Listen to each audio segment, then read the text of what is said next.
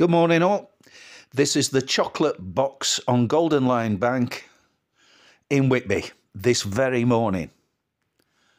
Look what some cabbage has done. Smashed the window and damaged the frame to nick a few sweets.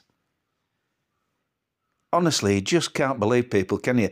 There's a police van sat further down with two coppers sat in it. They're both scratching their heads. Don't think they can work out what's going on.